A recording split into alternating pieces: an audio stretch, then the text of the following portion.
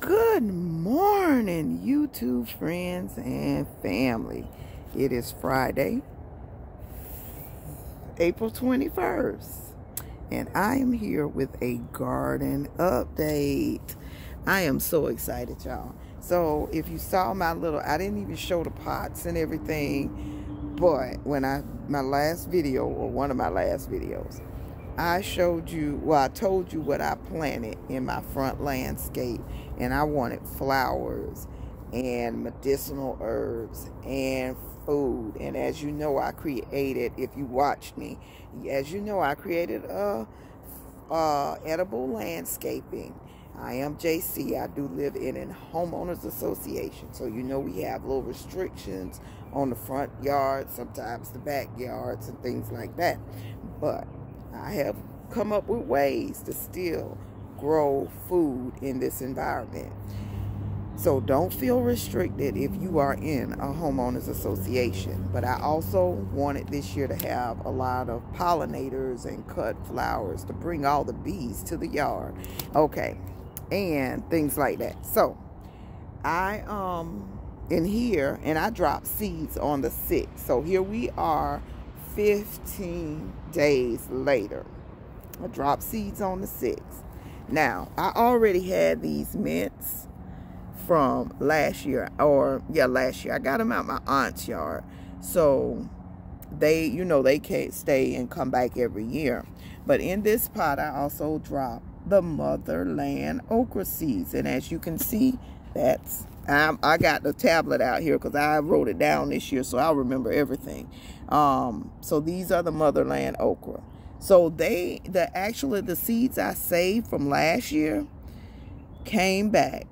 They actually germinated. So I am very pleased with that. In this pot, I also have um, Velvet Queen sunflowers.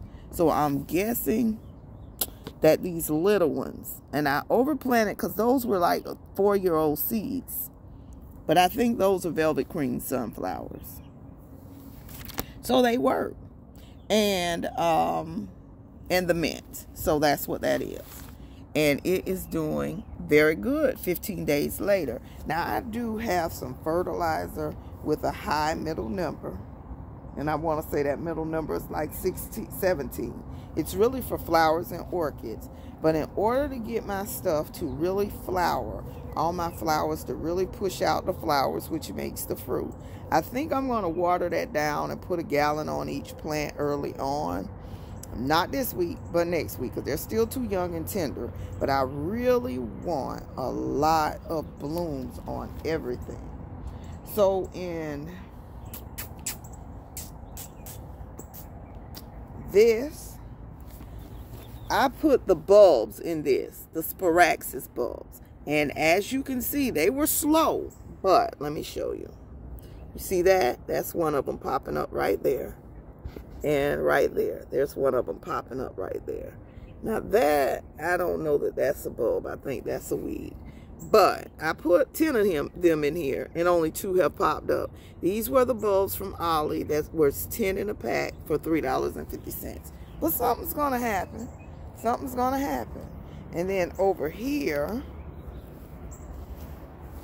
I put the Tigridia. None of those are coming up. I don't see a hide nor hair of a Tigridia. So I am concerned about that. Let me see. I should have had gloves on so I can kind of pilfer around. Well, for one, the soil's dry. But I was trying to see if I can touch one, you know, to make sure. But I don't even see them. But I put the Tigridia in here and nothing's happening. Here's the, um, what is it, Ariella or I have purple. I bought one purple plant and one white plant. They are all over now. You see that? Mm-hmm. Mm-hmm. And if you remember last year, I got these from Hobby Lobby. They were regular $39.99. So follow me. You buy this stuff early so you could really, you know, put a show on in your yard for spring. So these were 30 or 90% off. I either paid 75 or 95 or 90% off. So they were four, or six dollars. I mean, it wasn't much. And if you saw my short yesterday, see what I say about the blueberry bushes?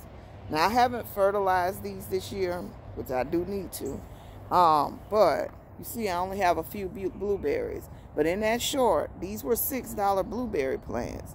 In that short, I showed you $30 blueberry plants that were already loaded with blueberries, which does make a difference if you spend the extra money to have a more mature and producing, proven producing plant. So over here, let me see what I put here. Some of these are giant, green giant zinnias. Let me see. Green giant zinnias, daisies, African daisies, and maybe some bachelor buttons. So that's what's in these pots. And you see they are they are coming on up. And like in the center, I put something else. So those may be the daisies or something. But that's what my notes say. The brown pots have giant zinnias, daisies, and possibly bachelor's buttons. And then the green pot, I think I have zinnias in those too. So, we'll see once it comes out for sure. So, um, and these came from Hobby Lobby spring sale. Yes, bless this home. And life is always good long as you living. You can make it better with what you do every day. Okay? Um, so these were the pink lemonade videos. This was one of my earlier videos. I ordered these from Home Depot. They were not cheap. But look, I don't have many blueberries either. But they are still here. They are still back. And that's what's up. So that's what I say. Invest in a bigger plant. But those were kind of exotic, pink lemonade. And they're back. They'll they'll produce. It might take three years for them to fully get round to production. So these pots. Now I forgot what I planted where. But something's not growing. Cause I did I think this is cilantro, I think. And it's, no, it's not. It's not. This is either lemon balm or dill. And it's doing nothing. So, I got to put something else there. I'm going to give it one more week and then I'll replace it with something else. These are those special marigolds that I found. Now, some of these are volunteers from last year. So I bought the orange ones, I think the French marigolds, and they did excellent. But I also dropped some of the newer marigolds I bought which were the um, Eskimos and all of that, that I did a short on there at Walmart, the Jaguars and Eskimos, and it was one other one that I forgot the name of. It was something started with a gesture, gesture, Jolly Jesters. So I have mixed those in these pots to get a nice marigold show. And some of them are sprouting. And over here, that's the same thing going on over here. The larger ones are the volunteers that came back. I mean, they popping up everywhere. And I had to actually pull some. But like the, the seeds flew around and there's one over there. So yeah, they came back real nice. There's one outside the pot. So, but I did also do the new ones. And over here, I think this is the slow bolt cilantro. So it's doing pretty well. There was already a little bit of cilantro in here. I just covered that up and started fresh because it was some seed. It had already gone to seed. But now that I'm smelling, I smell lemon balm. So child, I don't know what I did out here. Because, I don't know. I, it smells like lemon balm. So I don't know.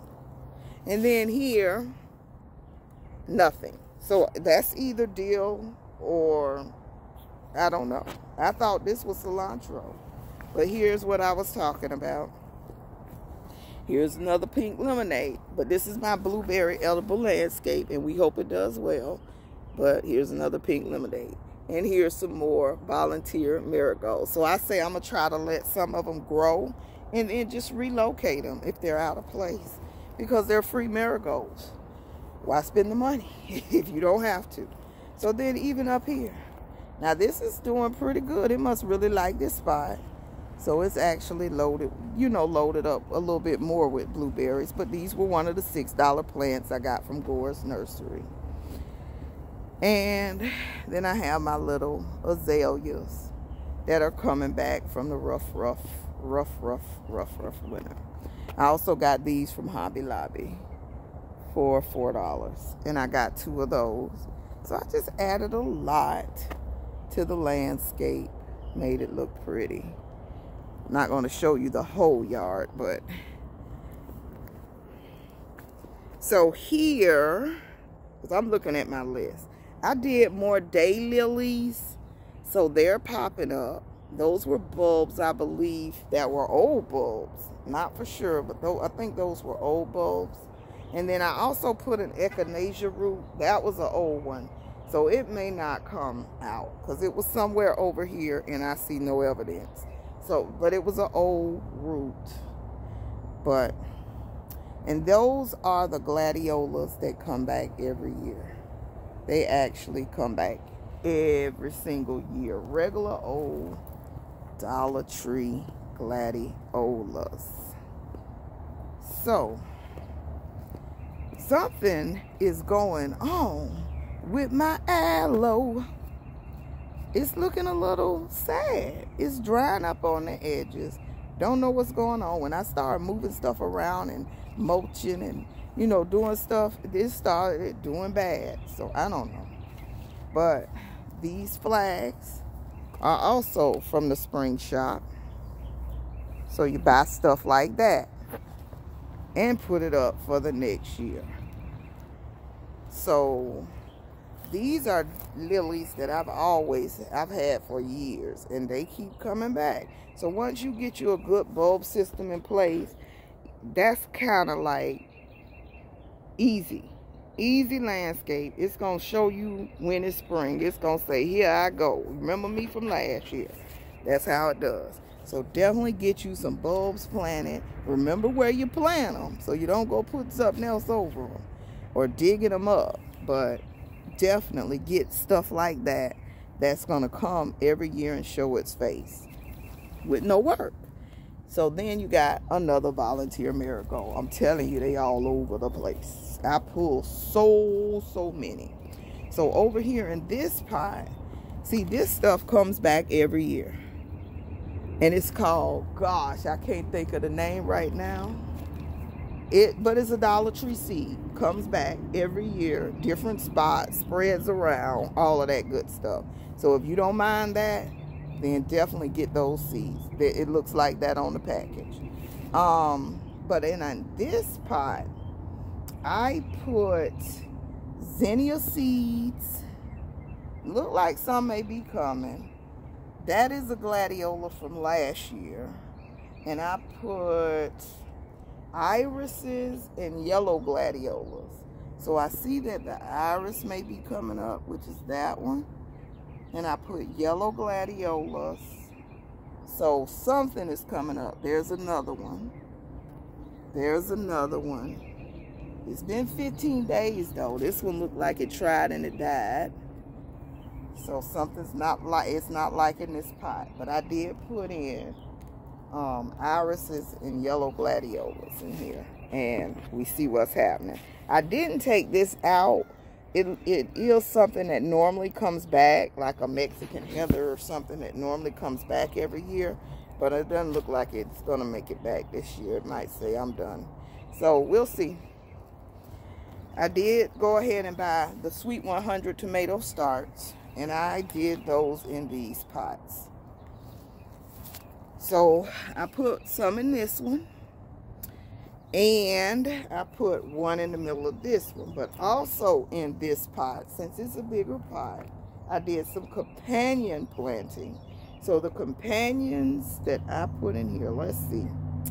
Nasturtiums, basils, and a marigold. So I did put one of each. And as you can see, the nasturtiums are coming the marigolds coming and more marigolds are coming and I think my basil seeds is the one that's not making it and another marigold because or that, that yeah that looks like a marigold So I think the basils are not coming to the party. They say uh, maybe you cannot use old basil seeds. If you can't, let me know in the comments below. Because that might be one of those seeds that you that just will not come, you know, will not work with old seeds. So we'll soon find out. But in this one, I planted the yellow pear tomatoes from seeds. I know I'm late, but we're going to see. This is Florida. We'll be hot until November. And then I put some more marigolds and nasturtium. So marigolds and nasturtiums and look like a yellow pear tomato might have floated over here. But those are yellow pears. So we'll see how those turn out.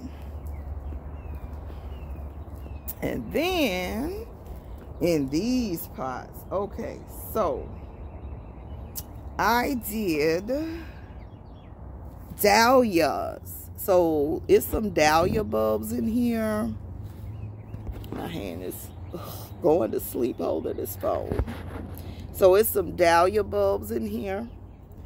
This was a volunteer marigold that I picked up off the ground and put in here. So it seems to be doing good. Um, some Jolly Jester marigolds I dropped in here. So those may be the ones over there.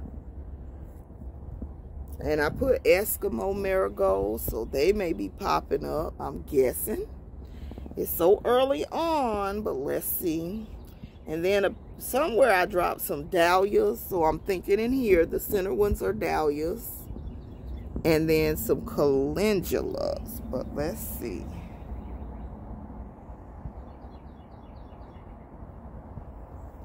So some may be over there. But here is the spring DIY from last year. As you can see, the bird of paradise did not do good in the winter. But it's it's gonna survive. It's gonna survive. Just give it some time. And then I put some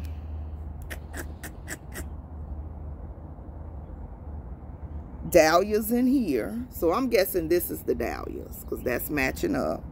And I put marigolds, which you see they're popping up real well, which is the jag, the Jolly Jester, the Jaguar, and the Eskimos are in here somewhere.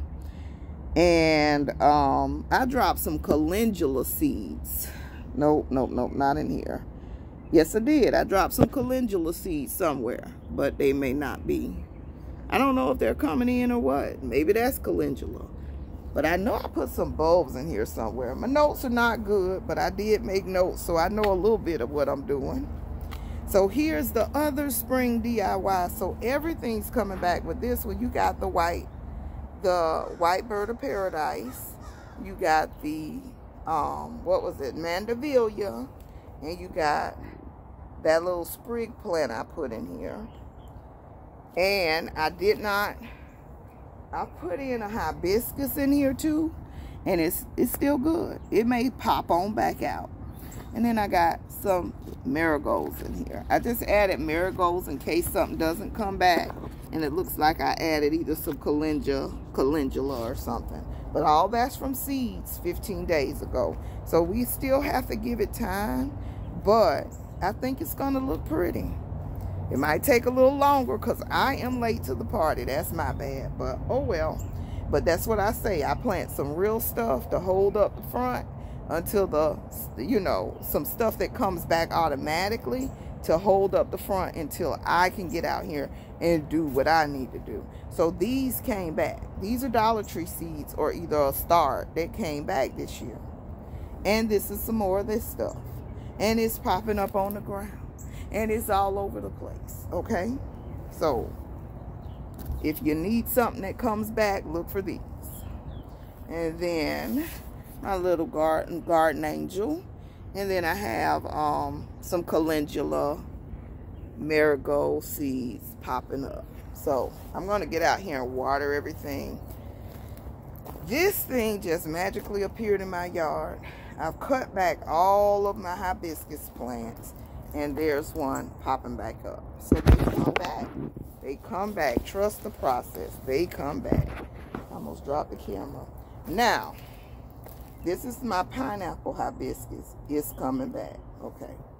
These are some four o'clocks. This was shampoo ginger.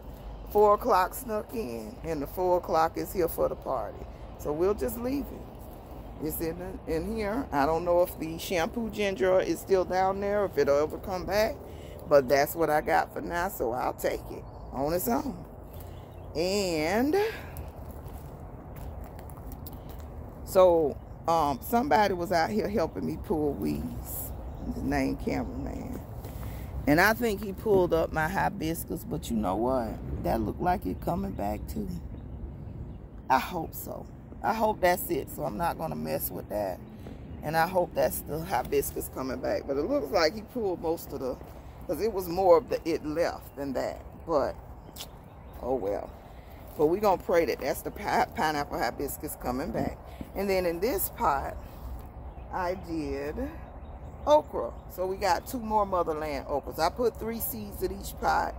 So that's six seeds and five of them sprouted up. So that's a good thing. Now, where the marigolds I put in here, I don't know. So I will drop some more marigold seeds in here since they didn't come up.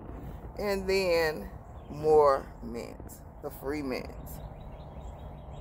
That never goes away. That's why you want to put it in a pot so it ain't everywhere in your grass, in your yard, everywhere. So that's where we're at right now. This is the front, and I will show you the trees. I have done nothing in the back. I am behind schedule. Remember, I got hit by a Sysco truck, and I got other stuff going on that's going to be a series. So, I got to be careful because I'm in here in flip-flops, and it's ant beds all over this yard. So here's what happened to my lemon tree over the winter. Even the tree in the back. But I cut it down. It was more of this. I cut it down. I'm going to actually prune this back a little more and get all of the disease off and see if I can still get a tree off of this. But it's not looking too promising. Yet, the orange tree did fine. And actually, even though it's going to most likely drop this fruit, Actually, we have two little oranges on there. Actually, three little oranges. It's going to drop that fruit because it's still so young. But that's fine. And oh, my persimmon. Oh, my persimmon that, that I am allergic to. But I can eat one or two, but not all of them. Full of fruit yet again. So I'm starting to think my source for fruit trees is going to be Eat Your Yard now because they're doing better. I mean, the ones I'm getting from Gores are hit or miss, but this is good. It's like 16 new. I don't know, that one got some little, look like blossom end rot on it. Don't know if you could see it. But, oh my gosh, this tree is full of fruit for a second year. And last year I got like 10 or 12 off of it. And that was the first year. So I don't know. We'll see. And this peach tree that won't peach still won't peach. Maybe the chill hours will make something happen. I'm going to fertilize it and see if that makes something happen. But as of yet, nothing. And it should be peaching by now. I'm giving up on my attempt with lime trees after I try one more time. But this one, not looking good. Not looking good, not looking like it's coming back. Next time, I think I will just put it in a, a container and do it that way. I think I may have better chance with a container. So garden changes in process. I'm going to give you a sneak peek since you are here and stayed till the end of the video you stayed to the end of the video and I say thank you. If you have not hit that subscribe button, subscribe to the channel. But garden changes. Why did that get knocked over? But the one on the brick didn't. This is my calamondin from seed with a gladiola in the pot. But garden changes. Remember this bed? It's out of here. We started moving it relocations, many of projects. That's why this looks like a disaster right now.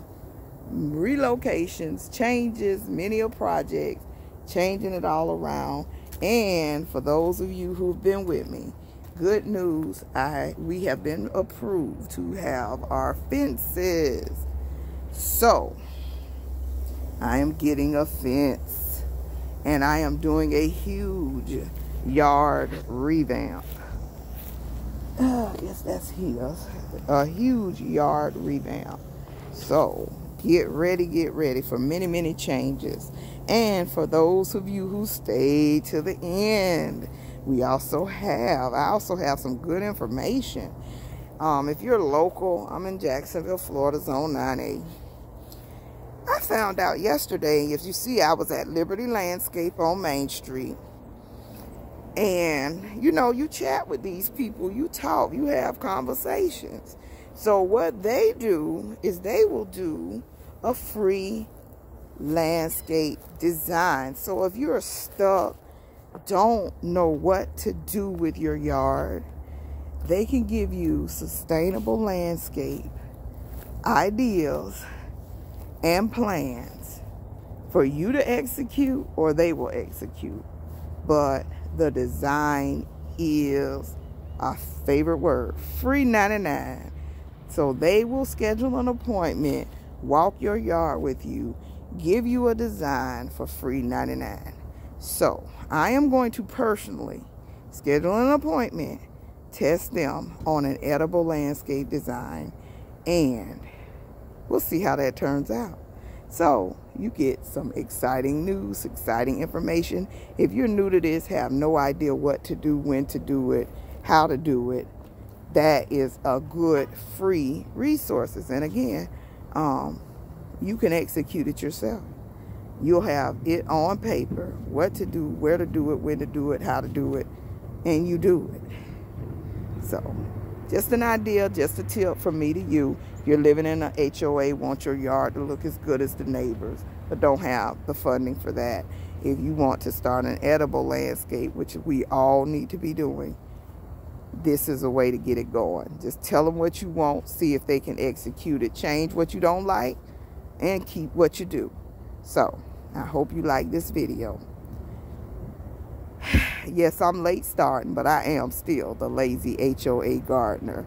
So help a sister out and plant a seed, plant a seed, plant a seed. Hit that like button. And I love you to life. Get out there and garden, everybody. Bye-bye.